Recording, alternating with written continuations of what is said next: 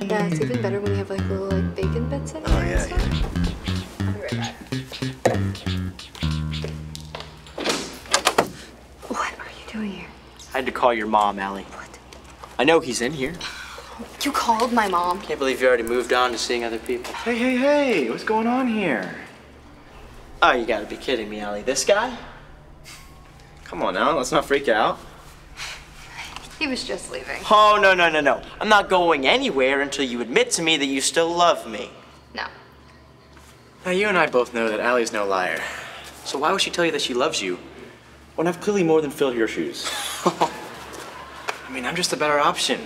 Strong, independent, dynamic, reliable. A built-in passion for protecting Allie. And I'll always be the fastest to assist her. Fastest? Bro, why you wanna be the fastest?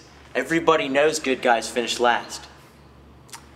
Well, at least with Allie, she'll know that I'll never short circuit.